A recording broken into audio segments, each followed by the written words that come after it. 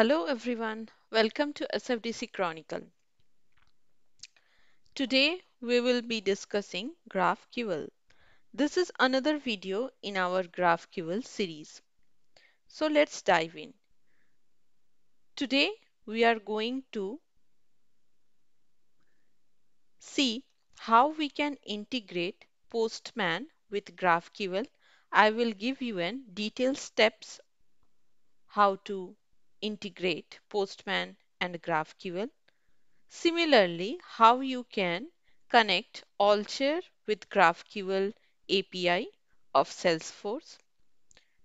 Also, in this particular video, we are going to show you how to do create, update and delete a particular record from graph using GraphQL API. So that is nothing but the mutation which is in beta version currently in Salesforce. And last but not the least, how we can use GraphQL API from LWC. So in LWC, we do not need to call any Apex class to do the query and filtering out anything. We are going to demonstrate you with an small application that how you can use GraphQL in LWC. So let's get started then. So first I will open uh, Salesforce. So this is my Salesforce org and I have installed eBikes that is uh, available in uh, from Trailhead. So I've installed this particular package in this org and I, I'm going to use this one for my demo purpose. Before going to that one, I have created a connected app that is GraphQL API connected app. In this app, so uh, I you will get an consumer key and secret. How you can create an connected app? You can type app in the quick find box and uh, once you get the app, you can select the app. So yes, this one app manager. And uh, you need to click on new. New connected app, not the lightning one, new connected app. And then you can select this one create a connected app and click on continue and then you need to fill this details. So if I click on edit so this is the details I have provided. This is the callback URL I have used enable OAuth setting as checked and then I have provided the URL callback URL and also the scopes that mm, scope that is required. So once I selected all the setting correctly then I will navigate to my postman.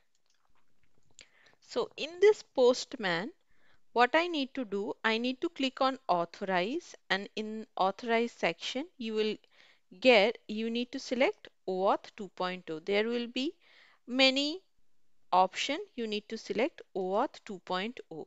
Now once you select OAuth 2.0 you will get a screen like this where you need to type in the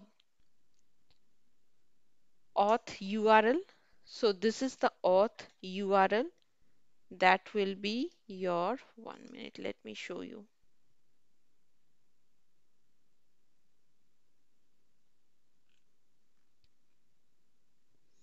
so you you know what is your domain URL so if you go to your domain. Okay.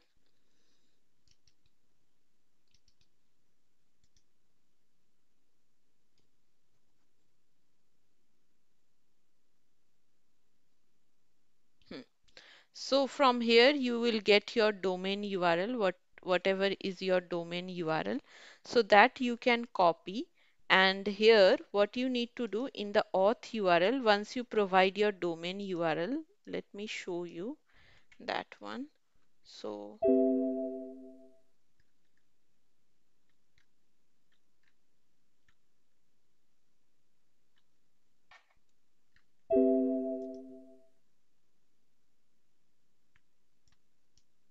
okay so that is matching with current my domain URL. You need to copy this one and you need to paste it here with HTTPS appended and after that you need to append slash services and slash OAuth to authorize. Same for access token, you need to provide HTTPS, then your domain URL, and then services OAuth 2 slash token. Now, client ID and client secret, once you create your uh, app, manage uh, connected app, then you will get a button like this. And if you click on manage consumer details, you will get your consumer key and consumer secret. So once you get your consumer uh, key and consumer secret, you can put it on these two uh, boxes and then you can click on get new access token.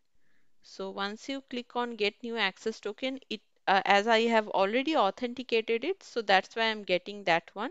Otherwise, it will allow uh, you authentication box will come and there you will get two option called allow and deny and then you need to click on allow and then you will redirect to this particular page.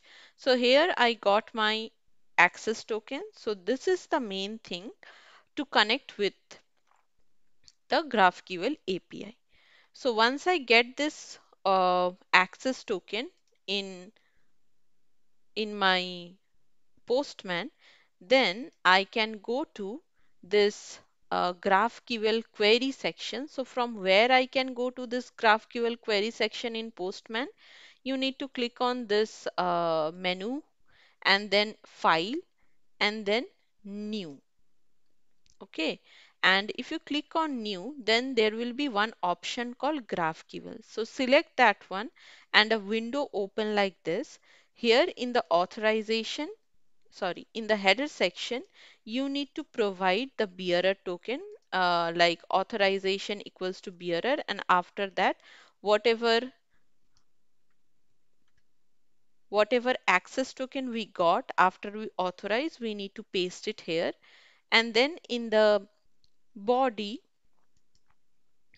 in the query what I have uh, written a, uh, a GraphQL query. How to write a GraphQL query? What are the different types of GraphQL query that I have already discussed in detail in my previous video. If you have not gone through that video, I will provided a link in the description section. Please check out that video.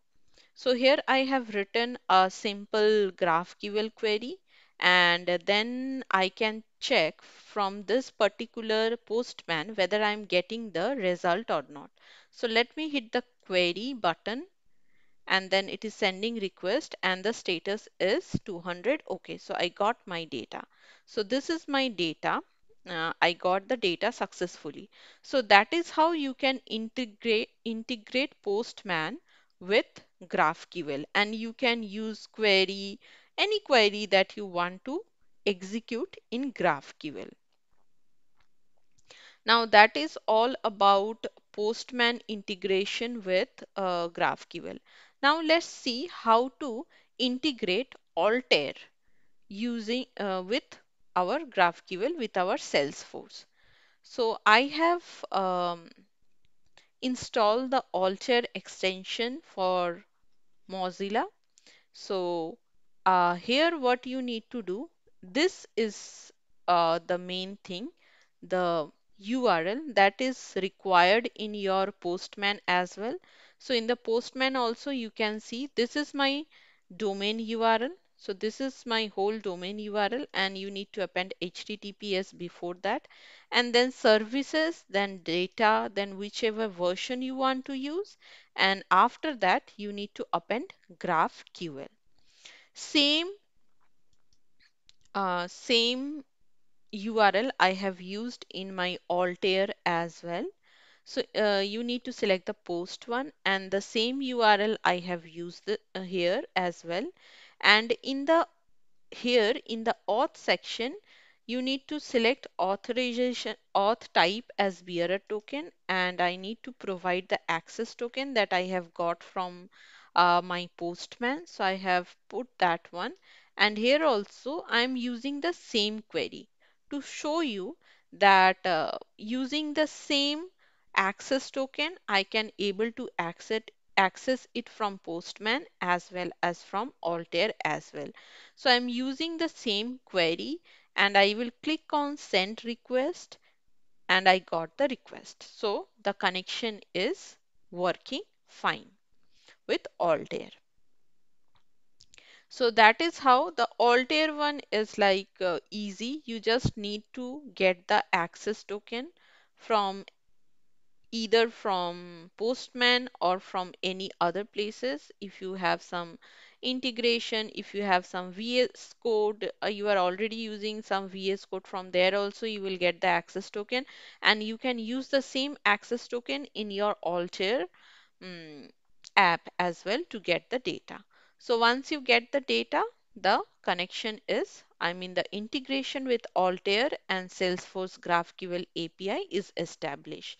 Now you can play around like with different query you can write. Uh, you can um, play around with your query in this uh, Altair uh, app and you can check whether your query is correct or not. So that is all about how to integrate Altair with Salesforce GraphQL API. Now let's come to the third part that is mutation. Mutation is how you can create a new record or edit a new record or delete a record from using GraphQL API. So I will use Altair for that one uh, and I, I will show you how to how you can use create, update and delete from Altair. So before that, let me navigate to account page. So this is my account page. So if I refresh it and uh, if I click on all accounts, so you can see all accounts. So the new account that I'm going to create is this one. That is first account by GraphQL. Let me see whether that already exists or not. So I will search here. No, it doesn't exist. But suppose I use this one.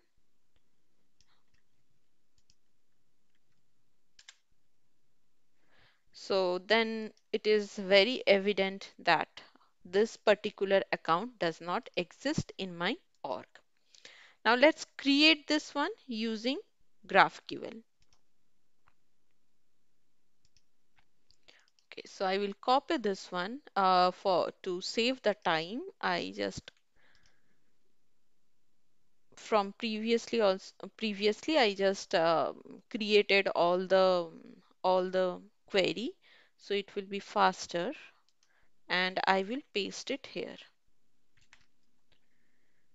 Uh, before going to that one, let me show you one thing.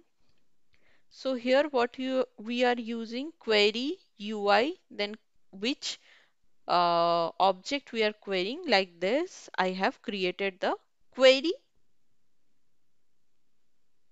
uh, query one, but in this case I have used something else.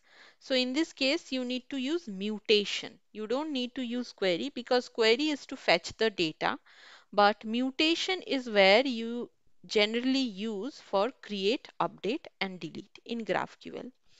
So that's why I used this one mutation and then you can provide a meaningful name as per your wish. And then UI API and you need to use account create. This is very important.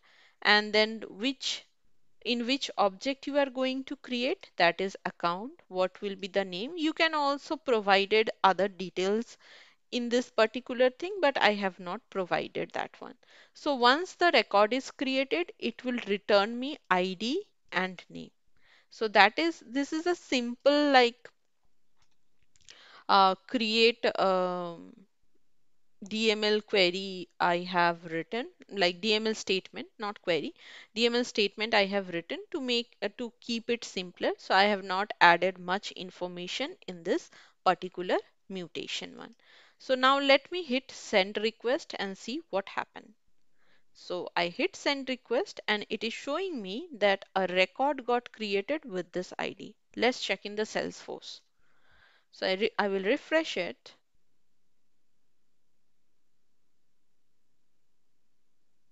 And voila, this one got created.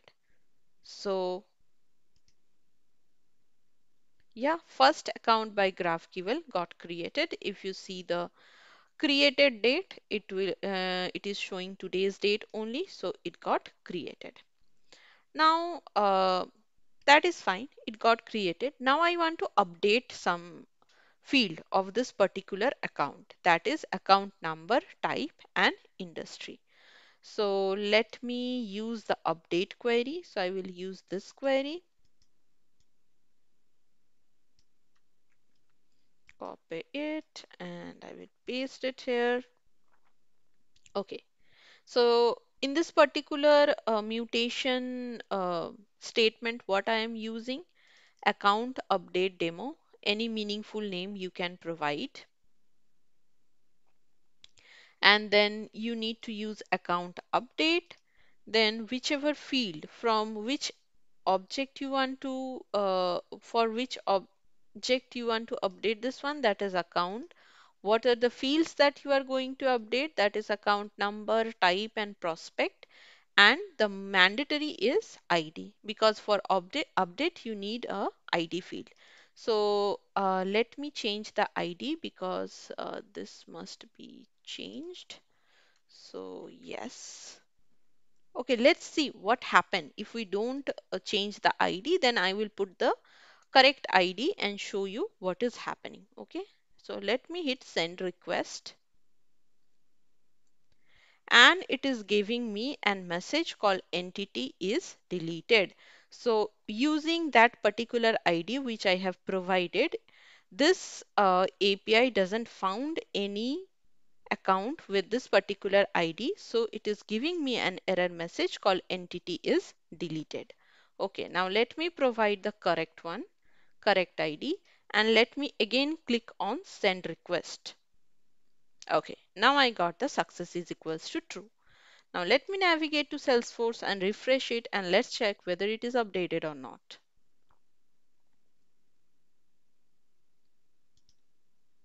Yeah, it got updated. See the account number previously it was blank and now account number type and industry that I have provided as energy prospect and 8569.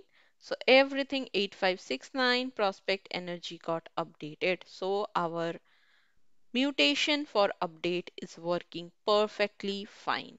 Now let's delete this one. Let's see whether the delete is working fine or not. So let me paste it here and I will change the ID. Okay. Uh, so I have just provided account delete. What it is going to do, it is going to delete an account. So that's why account delete. And then I provided the ID, which account I need to delete, and I will click on send request. So it is providing me a message that this account got deleted. There is no error. So ideally this account should delete it. So let me refresh it and check that one. So I have refreshed the page and I got the message that looks like there is some problem. So the account has already been deleted. So that's why it is not able to find the account. So that's why Salesforce is giving me this error message. So that is how your mutation work. You can like able to create, edit, delete from GraphQL API. Now let's move into the next part that is how to integrate your LWC component or how to access GraphQL API using LWC component. So for that one, I have created a small app that is called uh, GraphQL demo. So let me refresh this page.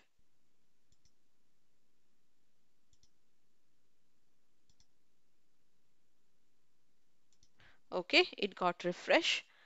So if you see, mm, there are 16. So in this particular uh, app, what I am going to show you how we can query using GraphQL API, how pagination work in GraphQL API, and then um, like how you can refresh uh, and fetch different data, like uh, a related data uh, in a single query in using GraphQL query.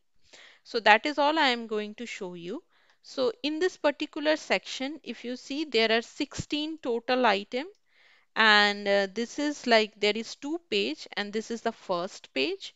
And we are showing 10 uh, 10 records in this first page. That is 1 2 3 4 5 6 7 8 9 10 and then if we click on this one then it will show another 6 record so that is how the pagination work i'm going to show you the code in detail bear with me first let me show you what is the functionality that i have used in this particular page so you can this is the second page and we are able to see the different the rest six product.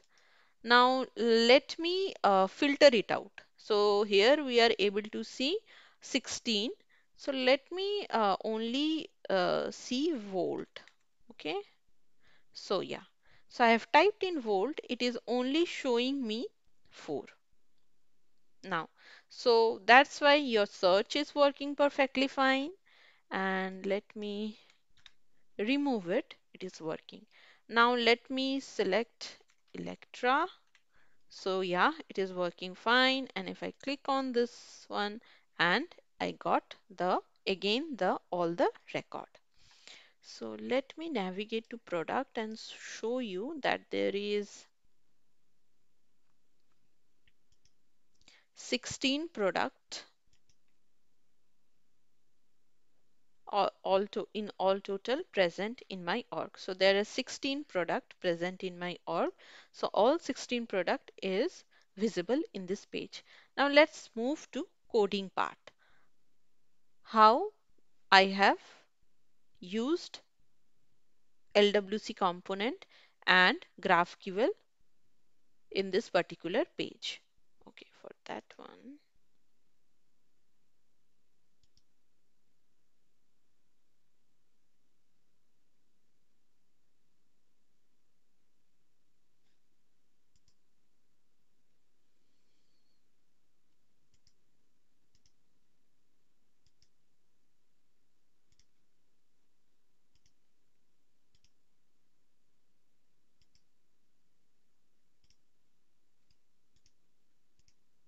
Okay. So this is the uh, GraphQL demo that I have used in in this particular page, uh, GraphQL demo. So yeah, so here what we are doing, uh, this is the uh, product detail page that I have not showed you yet. I will come to this one later. And this is the main uh, where I have used an search box and showing all the details.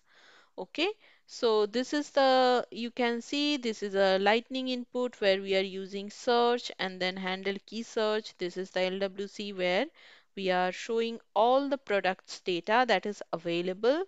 And this is the handle previous, this is handle next, and we are showing total count, current page number and total pages and also all the product that is with the images that is visible in this particular page is visible via this another LWC component that is record tile.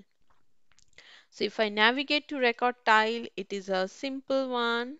Uh, in this one, we just, we are passing the record and then from the record we are using the picture we are using the name the frame color and the motor that is showing here and also MSRP what is the amount? So that is all regarding this particular tile. Now let's jump into the JS part. Okay so this is my GraphQL query. So if you see this is the main thing that you need to use. You need to import Lightning UI GraphQL API. So this you need to import and then you need to write an wire message. Uh, sorry, wire method. So wire method should be like GraphQL and then you need to maintain this query colon GraphQL. You will get this uh, the format of this in Salesforce documentation as well. You can refer that documentation and then with whatever query you want to use that query you can first build in your Altair in this particular uh, app and then you can use the same query because to debug the query itself in the LWC uh, that is like that also you can do but uh, from um, my recommendation would be you should use Altair to to create your query and then use that query on this particular LWC component. So here what we are uh, providing as an input, we are providing this after and product name and page. What is this after? This is after is nothing but to get the pagination thing and how you can use uh, what are the different components like what are the different uh, uh, like parameter of pagination, how you can write a query for a pagination that I have already shown you in my previous video. You can refer to that one or in this particular one as well, we are using this one. So this is my, uh, this I am using for my pagination. This is the product name when I'm searching with a particular product, which product I, I am searching with. So for that one, I use this particular product name and then the product uh, page size also. I am like uh, to go to navigate to the first page I am using page size. Then I am querying the product uh, object. And in the where clause the name should be uh, the name is like product name whatever product name we are typing in our input search box. And then for the pagination I am using I am using first page and after for getting the after one. And then I'm doing a order by which is like uh, order by with the name. And then in return what I am uh, getting in return name. What are the fields that I am getting? Name battery description and whatnot. Whatever is required in my uh, page uh, in my LWC component that that all field I am uh, I am using in my query Another thing that I I have used that is total count, how many record I have. What is the page result count? That is in this case I have not shown in the front end, but I am using it. That is 10. And this is the info, info page info that you you can use for your pagination. So for pagination, you need to use has previous page, has next page, and start cursor, end cursor. What is the use of previous page and next page? Let me show you that one. Okay. So is last page, if there is any last page or not, it will return true. And what I am doing, so when I am handle next, when I am using handle next, it will only be visible if this is true. So that's why I have used is used this one in is last page. Now the interesting thing is uh, when GraphQL query return the value for this one, return the value in this particular product, it is not like simple you can use product dot uh, the field name and got the field name. It's not like that. So you need to use the whole format.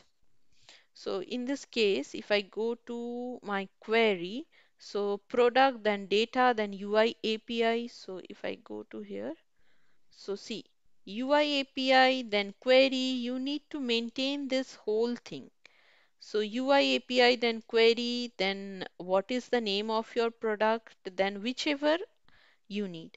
If you need page info, then you need to use dot page info and dot uh, has previous. If you total count is like uh, accessible directly, so you can use total count. But if you want to use this particular data, then you need to go through edges and node.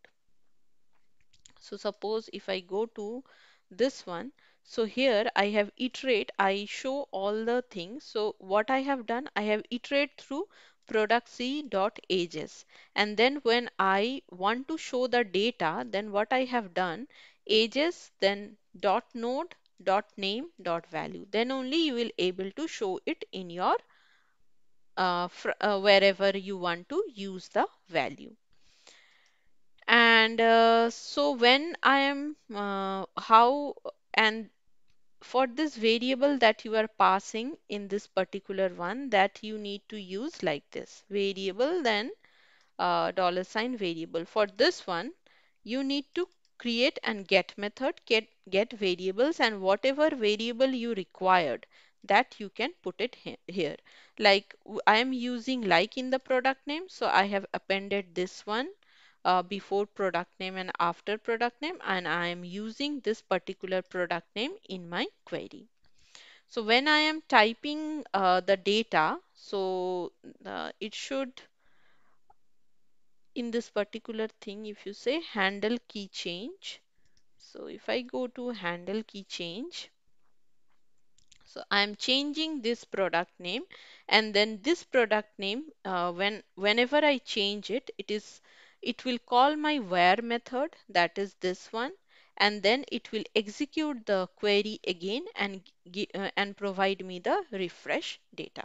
That is how this particular pagination and uh, to retrieve the data everything works in your LWC component. Now let me navigate to product details and family details. So if I click on this one, what it will show, it will show me the all the product details and also the family details, also the related list. So I have clicked on this first one. So the um, Dynamo X1, if I uh, navigate to Dynamo X1, so you can see the product family is Dynamo and if I open this Dynamo, in the related list you will able to see there are four product so if I navigate to this one you will able to see there are four product.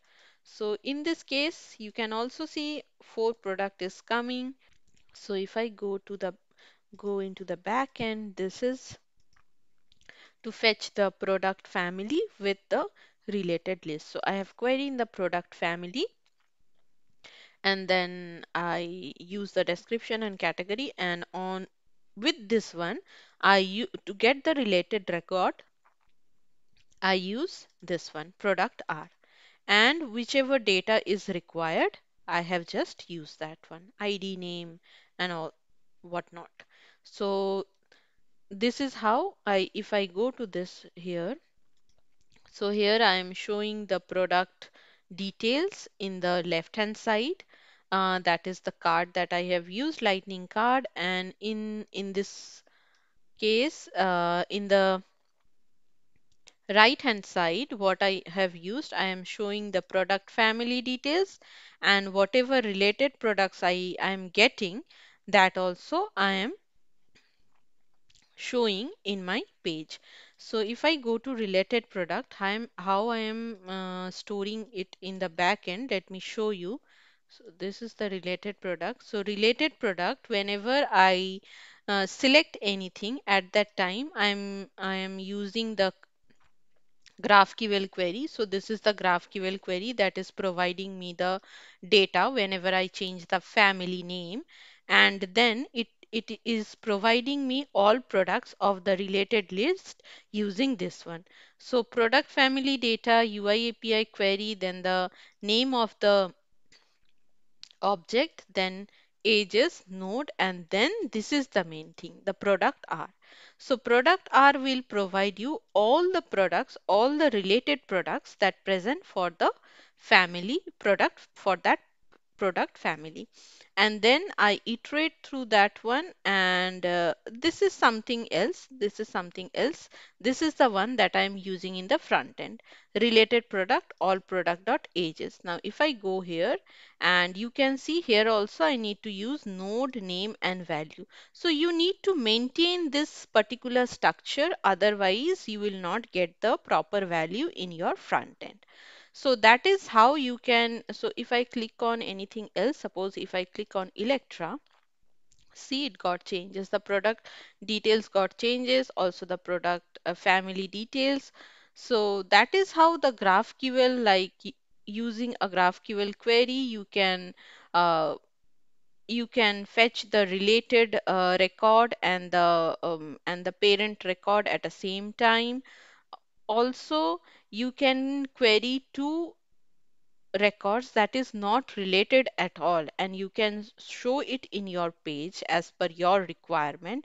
So that is how the GraphQL is uh, very handy to get the uh, object at one single request from um, different object and you can use that in your page the server uh, to client and client to server route will be very less if you use GraphQL API so yes, that is all regarding um, integration with LWC component, how you can access GraphQL API from LWC component.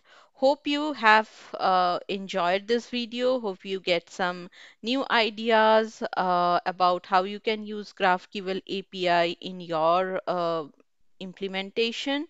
So that is all for today's session. Thank you for watching this video. Please do like, share, and subscribe to SFDC Chronicle. Signing off for today. Thank you.